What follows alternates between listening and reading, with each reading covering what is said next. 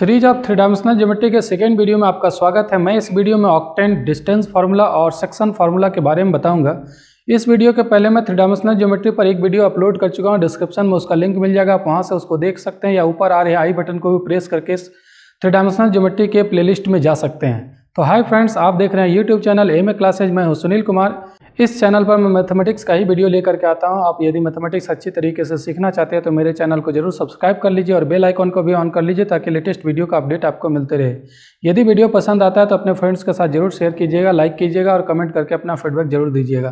तो चलिए शुरू करते हैं इस वीडियो को। मेरे चैनल के वीडियो देखने के लिए आप एम क्लासेज को क्लिक करें। एम क्लासेज को क्लिक करने के साथ होम पेज खुल जाएगा। होम पेज में आप प्लेलिस्ट में जाएँ। प्लेलिस्ट में आपको डिफरेंट टॉपिक्स का वीडियोज़ मिल जाएगा।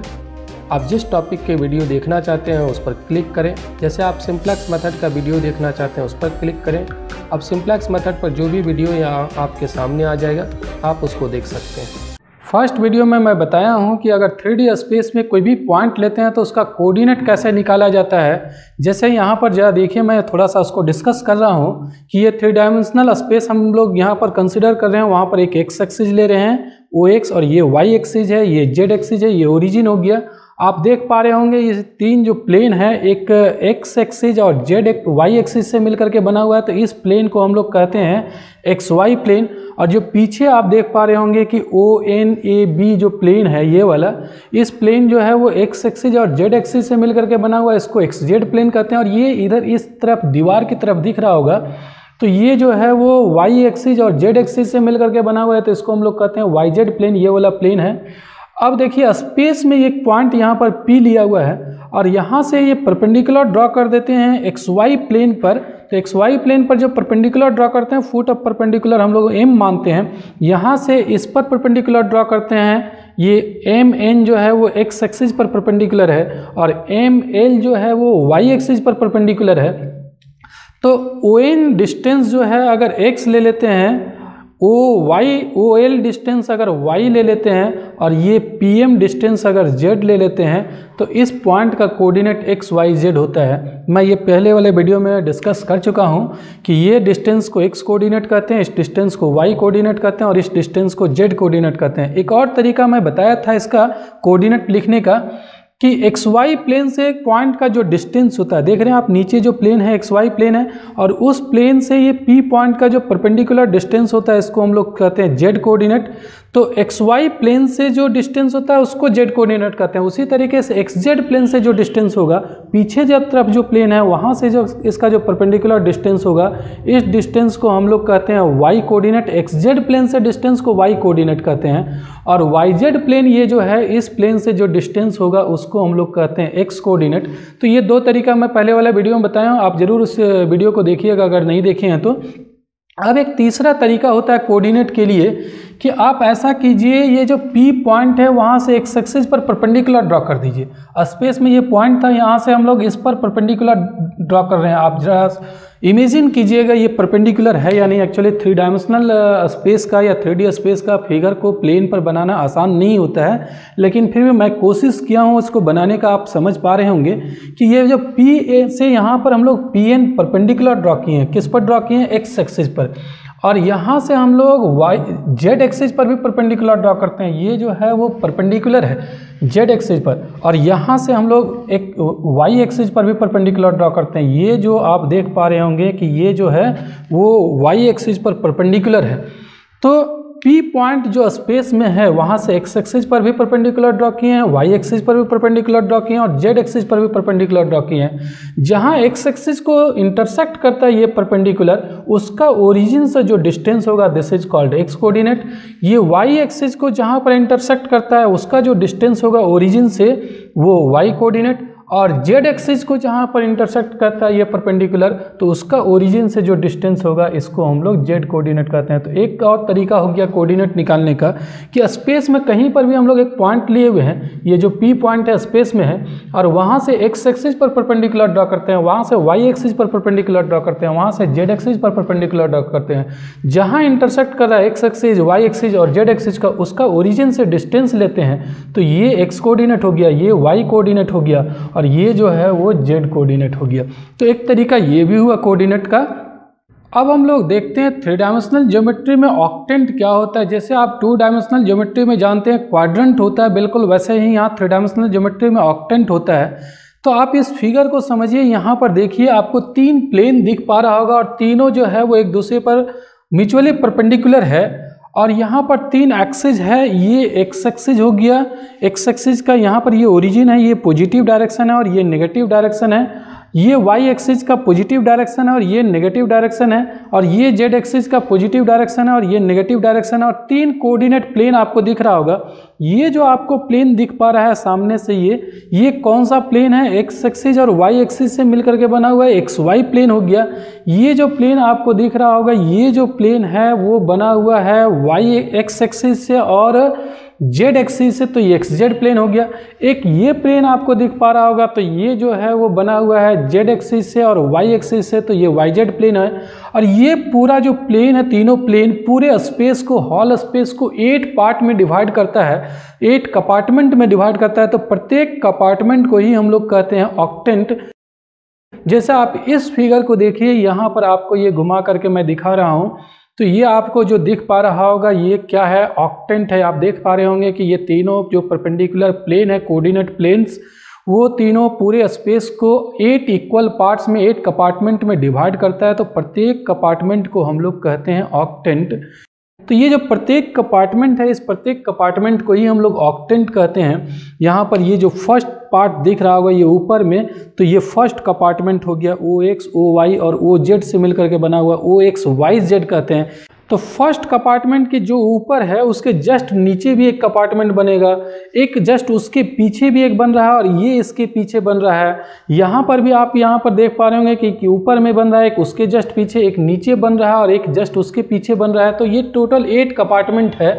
तो three mutually perpendicular coordinate planes divide the whole space into eight compartment जो तीन म्यूचुअली परपेंडिकुलर प्लेन होता है कोऑर्डिनेट प्लेन वो पूरे स्पेस को एट कंपार्टमेंट में डिवाइड करता है नोन एज ऑक्टेंट प्रत्येक कंपार्टमेंट को ऑक्टेंट कहते हैं। The octant having O X O Y and O Z as its edges is is denoted by O X Y Z एक कंपार्टमेंट ऐसा होगा जिसका किनारा जो होगा एज होगा ओ एक्स ओ वाई और ओ जेड होगा, उसको ओ एक्स वाई जेड कहते हैं, जो मैं यहाँ पर अभी बता रहा था। कि ऊपर कंपार्टमेंट आपको जो दिख रहा है, ये ओ एक्स से ओ वाई और ओ जेड उसका किनारा है, केज है तो उसको O X Y Z compartment कहेंगे। उसी तरीके से और भी कंपार्टमेंट बन जाएगा। O X dash Y Z O X Y dash Z O X Y Z dash etcetera इस तरीके से टोटल एट कंपार्टमेंट बनेगा। तो अब प्रत्येक कंपार्टमेंट में कोऑर्डिनेट का साइन क्या होगा, इसके बारे में हम लोग देखते हैं। जैसे आप 2D में जानते हैं कि जो कोऑर्डिनेट एक्सिज होता है, एक्स एक्सिज होता है और वाई एक्सिज होता है, इधर होता है, नेगेटिव डायरेक्शन, एक्स डैश और इसको वाई डैश कहते हैं। तो आप जरा देखिए, ये जो फ़र्स्ट क्वाड्रेंट कहलाता है, और फ़र्स्ट क्वाड्रेंट में दोनों कोऑर्डिनेट पॉजिटिव होता है, ये जो फ़र्स्ट क्वाड्रेंट है, वो एक्स, वाई, यहाँ पर दोनों पॉजिटिव होता है, और ये जो सेकेंड है, इस सेकेंड को आप कह सकते हैं कि ओ एक्स डैश वाई है। कैसे लिख रहे हैं? ओ एक्स डैश और वाई है। तो इसमें पॉजिट नेगेटिव होता है और पॉजिटिव होता है कोऑर्डिनेट का साइन। और ये जो क्वाड्रेंट बन रहा है, ये क्वाड्रेंट होता है O X dash, Y dash. यहाँ पर कैसा होता है? दोनों कोऑर्डिनेट नेगेटिव होता है और यहाँ जो होता है ओ एक्स वाई डैश कह सकते हैं तो यहाँ पर पॉजिटिव नेगेटिव होता है। तो कैसे हम लोग लिख रहे हैं क्वाड्रेंट को? एक बार दोनों में से किसी में भी डैश नहीं दिए हैं एक्स वाई में से। एक बार एक्स में डैश दिए हैं, वाई में नहीं दिए हैं। एक बार वाई में डैश दिए हैं, एक्स में नहीं दिए हैं। और एक बार दोनों में डैश दे दिए हैं। अब देखिए, अगर डैश नहीं है तो वो पॉजिटिव है। और जिसमें डैश है उसका कोऑर्डिनेट नेगेटिव है। एक्स में डैश है तो ये नेगेटिव है, वाई में डैश नहीं है तो पॉजिटिव। यहाँ दोनों में डैश है तो दोनों नेगेटिव है। यहाँ पर एक में डैश नहीं है और एक में डैश है एक्स में नहीं है तो ये पॉजिटिव और जिसमें डैश है उसमें नेगेटिव तो कोऑर्डिनेट बनाने के लिए क्वाड्रेंट बनाने के लिए क्या करते हैं? क्वाड्रेंट बनाने के लिए हम लोग एक बार एक्स वाई दोनों लिखते हैं, फिर एक बार एक्स में डैश देते हैं, एक बार वाई में डैश देते हैं और एक बार दोनों में डैश देते हैं। तो कुछ ऐसा ही यहाँ पर ऑक्टेंट बनेगा। आप ऐसा कीजिए कि ऑक्टेंट बनाने के लिए आप तीनों में से किसी में भी डैश मत दीजिए। एक बार एक्स में दीजिए, एक बार वाई में दीजिए, एक बार जेड में दीजिए। अब एक बार एक्स और वाई में दीजिए, एक बार एक्स और जेड में दीजिए, एक बार वाई और जेड में दीजिए और एक बार तीनों में दे दीजिए। तो ये एट ऑक्टेंट हो गया। तो ये प्रत्येक ऑक्टेंट में क्या कोऑर्डिनेट का साइन होगा? इसमें आप देख रहे होंगे इस ऑक्टेंट में किसी में भी एक्स वाई जेड में किसी में भी डैश नहीं है। अगर डैश नहीं रहता है तो वो पॉजिटिव कोऑर्डिनेट होता है। यहाँ पर भी पॉजिटिव होगा, यहाँ भी पॉजिटिव होगा, यहाँ भी पॉजिटिव होगा। आप जैसे यहाँ पर क्वाड्रेंट में देख पा रहे होंगे कि डैश अगर नहीं है तो दोनों में पॉजिटिव है एक्स और वाई दोनों। जिसमें डैश रहता है, वो नेगेटिव होता है। क्यों होता है? क्योंकि अगर डैश नहीं है तो वो पॉजिटिव डायरेक्शन होता है। और अगर डैश है तो वो नेगेटिव डायरेक्शन होता है। इसीलिए डैश जिधर रहेगा, उधर नेगेटिव डाल देंगे। यहाँ पर आप देखिए, इसमें x में डैश है तो x कोऑर्डिनेट नेगेटिव होगा और y और z में डैश नहीं है तो ये पॉजिटिव होगा। और इसमें आप देखिए y में डस है तो y नेगेटिव होगा और x और z में नहीं है तो ये दोनों पॉजिटिव होगा इसमें z में डस है तो ये नेगेटिव होगा और x और y में डस नहीं है तो ये पॉजिटिव हो जाएगा यहाँ पर x और y में डस है तो x और y दोनों नेगेटिव होगा ये पॉजिटिव होगा z में डस नहीं है उसी तरीके से x में डस है ये नेगेटिव z में डस है ये नेगेटिव y में डैश नहीं है पॉजिटिव इसमें x में डैश नहीं है ये पॉजिटिव y और z में डैश है तो ये नेगेटिव हो जाएगा यहाँ तीनों में डैश है तो ये तीनों नेगेटिव होगा तो हम लोग अब इस कोऑर्डिनेट सिस्टम से हम लोग कह सकते हैं कि कौन सा पॉइंट किस ऑक्टेंट में होगा, उसका सिर्फ़ कोऑर्डिनेट देख करके हम लोग बता सकते हैं। मान लीजिए अगर किसी पॉइंट का coordinate two minus three minus five है तो आपको लिखना कैसे है? पहले ओ लिखिए और टू जो है वो पॉजिटिव है तो एक्स लिखिए, वाई जो है वो नेगेटिव है तो वाई डैश लिख दीजिए और जेड भी नेगेटिव है तो जेड डैश लिख दीजिए। तो ये जो पॉइंट है वो इस ऑक्टेंट में होगा। मान लीजिए अगर पॉइंट है थ्री सेवन माइनस टू तो ये कहाँ पर होगा? Three comma seven comma minus two जो है वो पॉइंट कहाँ पर होगा? तो सबसे पहले ओ लिखना है और एक्स में यहाँ पर फ़र्स्ट क्वार फ़र्स्ट कोऑर्डिनेट जो एक्स कोऑर्डिनेट उसमें पॉजिटिव है तो एक्स लिखिए। वाई भी पॉजिटिव है तो वाई लिखिए और जेड भी जेड में नेगेटिव है तो जेड में डैश बना, लगा दीजिए। तो ये किस ऑक्टेंट में हो जाएगा? O X Y Z dash octant में हो जाएगा। तो ये हो गया फ्रेंड्स कोऑर्डिनेट में सिस्टम में थ्री डायमेंशनल सिस्टम में ऑक्टेंट और ऑक्टेंट डिफरेंट डिफरेंट ऑक्टेंट क्या होता है? और उस ऑक्टेंट में कोऑर्डिनेट का क्या साइन होता है? अब चलिए हम लोग देखते हैं डिस्टेंस फार्मूला क्या होता है। फ्रेंड जैसे आप 2D में डिस्टेंस फार्मूला जानते हैं, बस 3D में भी बिल्कुल वैसा ही होता है कि distance between any two points A X one comma Y one comma Z one and B X two comma Y two comma Z two is given by कोई भी दो पॉइंट हम लोग ले रहे हैं और दोनों के बीच का अगर डिस्टेंस निकालना हो, अगर इसका कोऑर्डिनेट दिया हुआ है तो डिस्टेंस कैसे थ्री में निकालते हैं? जैसे टू में निकालते वही काम करेंगे। कि ए बी जो डिस्टेंस होगा वो root under of X two minus X one to the power two plus Y two minus Y one to the power two plus Z two minus Z one to the power two होगा। यानी क्या करेंगे? इसका coordinate और इसका coordinate का difference लेंगे। X two और एक्स वन का डिफरेंस लेंगे, उसका whole square Y one Y two और वाई वन का डिफरेंस लेंगे, उसका हॉल स्क्वायर और जेड वन जेड टू और जेड वन का डिफरेंस लेंगे उसका हॉल स्क्वायर ये, ये तीनों कोऑर्डिनेट के स्क्वायर का सम कर देंगे और उसका रूट अंडर ले लेंगे तो वही हो जाएगा ए बी डिस्टेंस तो जो टू डी में था बिल्कुल वही है। इस फॉर्मूला से हम लोग किसी भी दो पॉइंट के बीच का डिस्टेंस निकाल सकते हैं। लेकिन अगर सपोज़ कीजिए ये पॉइंट है ए जिसका कोऑर्डिनेट है एक्स वाई जेड और इसका ओरिजिन से डिस्टेंस निकालना है तो ओरिजिन का coordinate zero comma zero comma zero होता है। तो अगर ओ ए निकालना है तो कैसे निकालेंगे हम लोग? यहाँ पर हम लोग ऐसा करेंगे कि x माइनस ज़ीरो किसी में अभी आप सब ट्रैक्ट कर सकते हैं। ज़रूरी नहीं है कि x2 में x1 को ही करें x1 वन माइनस एक्स भी कर सकते हैं क्योंकि हॉल स्क्वायर है। तो आप x2 टू माइनस एक्स लिखिए या x1 वन माइनस एक्स लिखिए, उससे कोई फ़र्क नहीं पड़ता है। हॉल स्क्वायर रहने से दोनों पॉजिटिव ही आएगा। तो आप देखिए, x माइनस ज़ीरो का हॉल स्क्वायर कर देंगे, फिर y माइनस ज़ीरो का हॉल स्क्वायर कर देंगे। और फिर जेड माइनस ज़ीरो का हॉल स्क्वायर कर देंगे और इसका सम करके रूट अंडर कर देंगे। तो ये कितना आ गया? X square plus Y square plus Z square आ गया। तो अगर किसी पॉइंट जिसका कोऑर्डिनेट एक्स वाई जेड है, अगर उसका ओरिजिन से डिस्टेंस निकालना है तो ये तीनों कोऑर्डिनेट के स्क्वायर का सम कर देंगे, उसका रूट अंडर कर देंगे तो ये ओरिजिन से डिस्टेंस निकल जाएगा। अब देखते हैं आगे सेक्शन फार्मूला क्या होता है। सेक्शन फार्मूला में हम लोग सबसे पहले क्या करते हैं? Let A whose coordinate are X one comma Y one comma Z one and B whose coordinates are X two comma Y two comma Z two be two points in space कहीं भी space में दो point लेते हैं जिसका coordinate दिया हुआ है। And P be a point on the line segment A B जैसे आप देखिए, यहाँ पर एक पॉइंट ले रहे हैं और यहाँ पर एक पॉइंट ले रहे हैं। ये दोनों स्पेस में है मैं फिगर बना रहा हूँ प्लेन पर तो ये प्लेन पर ये पॉइंट दिया हुआ है, लेकिन ये स्पेस में कहीं पर भी हो सकता है। जैसे एक पॉइंट यहाँ है, दूसरा पॉइंट यहाँ यहाँ ऐसा हो सकता है, कहीं पर भी हो सकता है। तो जिसका कोऑर्डिनेट दिया हुआ है ए का coordinate X one comma Y one comma Z one है और बी का coordinate X two comma Y two comma Z two है। और पी पॉइंट ऐसा पॉइंट है लाइन सेगमेंट ए बी पर, जो इस इसको डिवाइड कर रहा है M is to N ratio में, ये M is to N ratio में डिवाइड कर रहा है इंटरनली डिवाइड कर रहा है। इंटरनली डिवाइड कर रहा है मतलब ए और बी को मिलाने वाला लाइन सेगमेंट पर ये पॉइंट है। तो P be a point on the line segment A B such that it divides the line segment A B internally in the ratio M is to N ये जो P point है वो उसको M is to N ratio में इसको divide कर रहा है। इसका मतलब क्या हो गया? कि ए पी का जो लेंथ होगा और पी बी का जो लेंथ होगा, ये दोनों का रेशियो है एम डिवाइडेड बाय एन अगर ऐसा पी पॉइंट इसको डिवाइड कर रहा है इंटरनली डिवाइड कर रहा है तो पी का coordinate then coordinate of P are P का कोऑर्डिनेट निकालने का फॉर्मूला होता है, क्या होता है? इस रेशियो को मल्टीप्लाई कीजिए इसके कोऑर्डिनेट से, यानी एम इंटू एक्स टू और प्लस ये जो ये जो रेशियो है, इसको मल्टीप्लाई करना है इस कोऑर्डिनेट से, यानी एन इंटू एक्स वन और डिवाइड कर देना है एम प्लस एन कर देना है। क्या करना है आप देखिए फिर से कि M into X two plus N into X one divided by M plus N तो ये पी का एक्स कोऑर्डिनेट निकल गया।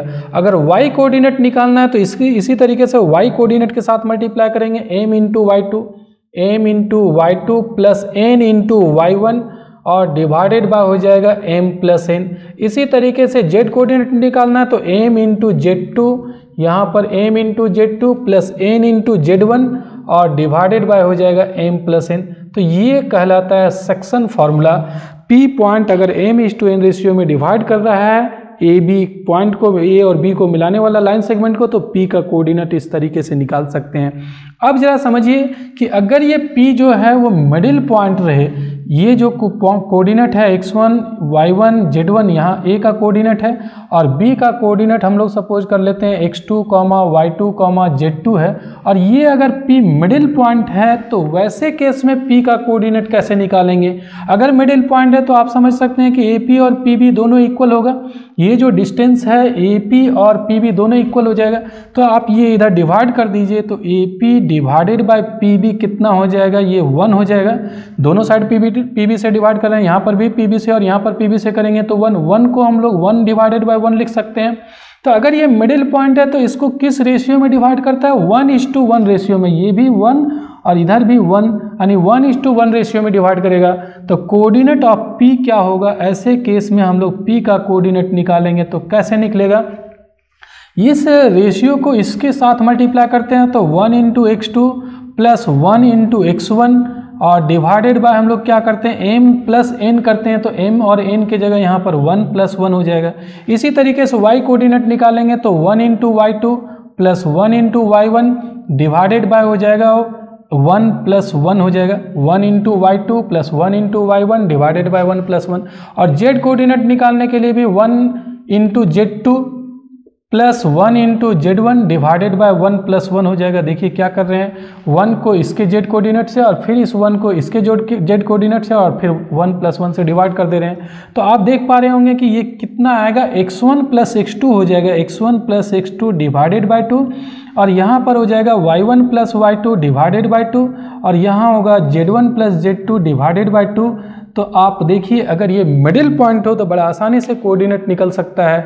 ये पी पॉइंट अगर लाइन सेगमेंट ए बी का मिडिल पॉइंट हो तो कोऑर्डिनेट निकालने के लिए पी का कोऑर्डिनेट निकालने के लिए क्या करते हैं? दोनों के एक्स कोऑर्डिनेट को ऐड करके टू से डिवाइड कर देते हैं। दोनों का वाई कोऑर्डिनेट को ऐड करके टू से डिवाइड कर दीजिए। दोनों का जेड कोऑर्डिनेट का सम निकालिए और उसको टू से डिवाइड कर दीजिए। मतलब एवरेज ले लीजिए। तो दोनों के कोऑर्डिनेट का एवरेज कर देंगे तो ये मिडिल पॉइंट का कोऑर्डिनेट निकल जाएगा। अब अगर ये इंटरनली नहीं डिवाइड करता है, मान लीजिए एक्सटर्नली डिवाइड करें एक्सटर्नली मीन्स क्या हुआ? जैसे अगर मान लीजिए यहाँ पर ए पॉइंट ले रहे हैं और यहाँ पर बी पॉइंट है, और पी पॉइंट ए बी के अंदर नहीं है ए बी लाइन सेगमेंट पर नहीं है, इसको ज्वाइन करने वाला लाइन सेगमेंट पर नहीं, बल्कि ये आप आगे बढ़ा दीजिए और इस आगे बढ़ाए हुए भाग पर पी पॉइंट है। तो ऐसे केस में और ऐसा है कि ए पी और पी बी का रेशियो जो है वो एम इज़ टू एन ही है।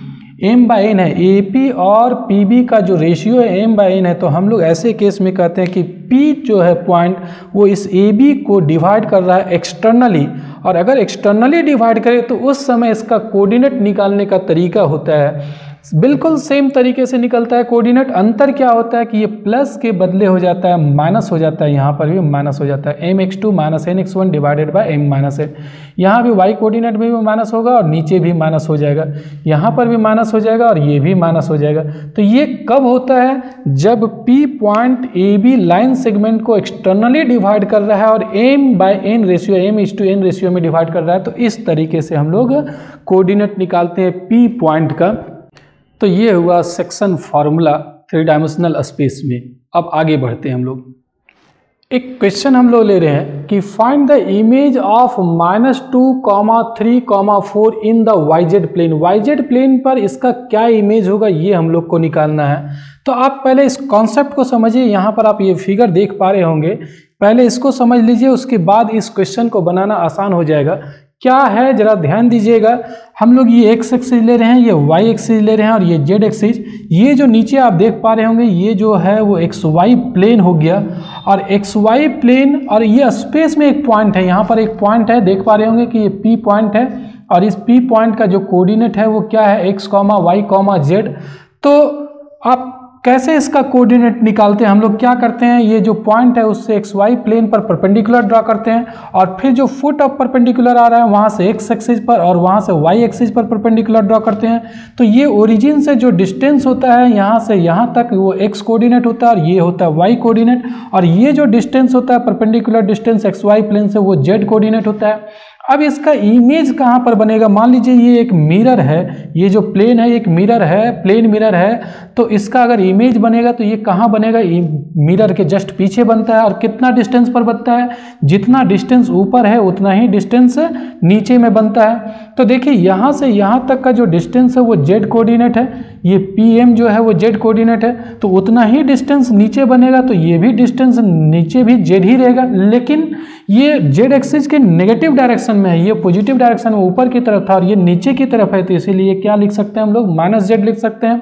अब अगर इसका कोऑर्डिनेट की बात करें डिस्टेंस पॉजिटिव ही होगा, लेकिन ये नेगेटिव डायरेक्शन में मेजर कर रहे हैं, इसीलिए माइनस जेड लिख रहे हैं। अब इसका कोऑर्डिनेट की बात करें क्यू पॉइंट का कोऑर्डिनेट निकालना हो तो कैसे निकलेगा?